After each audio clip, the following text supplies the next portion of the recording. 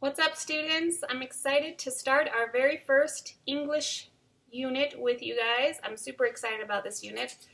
I'm going to say that about a lot of units over the school year, but this is one of my favorites and I think that you're going to love it too. We are going to study for our first unit linguistics and linguistics means language but it's not the same as studying Spanish or French. Ling studying linguistics is the study of how language works. We can we're going to talk about things like how language works in our heads, how it helps us think, how language changes, and how language shapes our cultures and our identities, and um, how we use language to like mesh two words together, like I and ball, and those two words come together and mean something different than just the words eye or ball by themselves. And the reason why we decided to give you guys a unit on language is because students come to English classes thinking that they can already speak English, they're already good writers, and those things are true. You guys are already probably fluent in English and you're already a good writer. Um, but we're studying English as an art form, and it's important to understand I think, how the language that you use shapes your perceptions of the world, your beliefs, your identities. And I'm going to propose to you that a lot of that is um, built on language. We, our identities are stories that we tell ourselves about who we are. It's their English is important because it's important that you can send a professional letter to your boss someday with commas in the right places and spelling words correctly, but also English and language are kind of miraculous. And I learn things I've been studying English for 10 years now or more and I learn things every day that blow my mind and change the way I look at the world or change the way I look at myself. So I'm excited to share some of those things with you guys. We'll know when we have um, learned these things because you're going to be able to write a five paragraph essay explaining what language means and why it's important in your life. So every day, we're going to answer one essential question like, what is language? Or why is language important? And then at the end of that day, you're going to write a little paragraph reflection. And at the end of the unit, we're going to combine all those paragraphs into one essay. So don't lose those paragraphs. All right, here we go. Language. Um, this is the color green. We all know that this is the color green. You've probably learned that in preschool. But my question for you today is how do we all know that we're seeing the same thing when we see the color green? Maybe when I look at the color green, what I see is what Ethan would see as the color red. Lang um, colors are abstract. They're not like the word chair because that's a hard concrete thing. Colors exist partly as just language. Um, language is the only way we have to verify that this color is green. So if I were to ask you, for example, to describe the color green to a blind person, um, what would we say about the color green? I would probably talk about the way it makes me feel. I would say green makes me feel peaceful and calm because I associate the color green with nature. Yeah, we could also talk about associations. I associate green with the earth. Um, you could maybe describe to the person the level of saturation in this color green. I could say it's a dark green or a pale green. Well, actually, no, I couldn't because then again, I'm describing like dark and pale, and someone who's blind um, wouldn't probably understand dark and pale the way we do. So I might be able to say something like, this is a, a thick green. This green is thick like oil, as opposed to a thin green, like a pale green, a watery green. Um, so I'm going to ask you in Canvas to describe the color red for a blind person, someone who's never seen the color red before.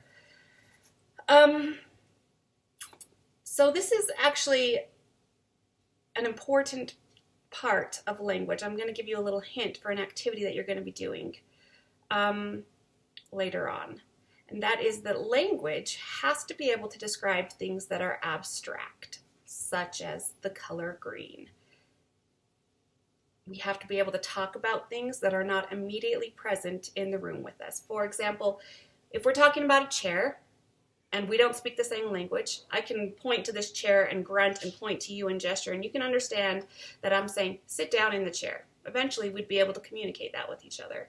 Um, but there are words that are abstract that we wouldn't be able to communicate about without language. For example, emotions. There's been a lot of research that says if we have five words to talk about our emotions, like sad, happy, jealous, angry, then we're going to experience those five emotions differently than we would experience them if we have dozens of words to talk about emotions like envious, bitter, joyful, the more words we have to talk about emotions, the more emotions we can feel.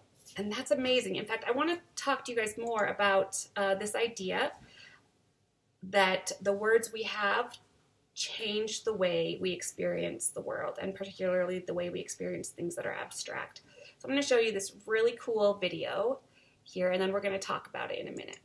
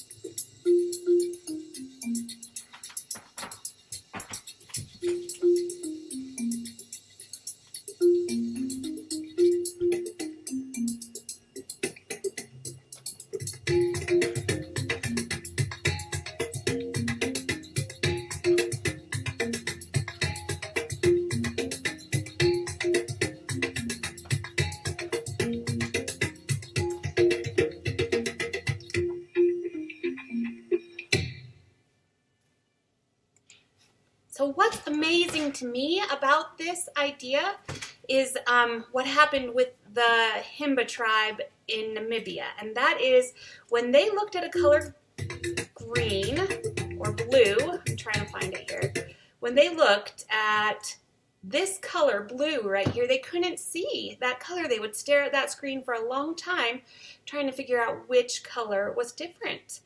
And um, when they looked at this chart right here, they could immediately identify that this color here was different, and I can't do that. I would have to sit here and stare at this for a long time to be able to identify that this is a different color. So the researchers determined that the difference was that they didn't have a word for the color blue, but they had dozens of words for the color green. And this idea um, that language changes the way we see things or our ability to see some things has a, has a name. It's called the Sapir-Whorf theory. And what's amazing about the Sapir-Whorf theory is that if you think about the implications of this theory, it means that there could be things that exist in the world right now that we don't notice or know about because we can't name them. It's really crazy to think about. Um, I don't know if you've ever seen the movie arrivals about a species of alien that comes to Earth, and they have to communicate with these aliens, and they figure out that the aliens have a language that's circular. Their writing is in circles, and so they experience time circularly too. And that entire movie is based on uh, the Sapir-Whorf theory. So if you get a chance to watch that, you should check it out. It's pretty cool. Um,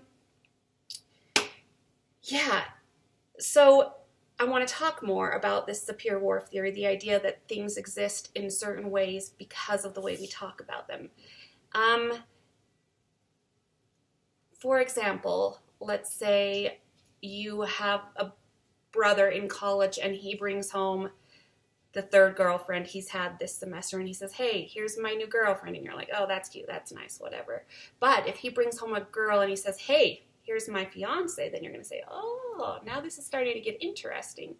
Um, even if the the person hasn't changed, the difference between a girlfriend and a fiance changes the concept of their relationship in your mind. So we have different words for like girlfriend, fiance, wife. Those are all different concepts.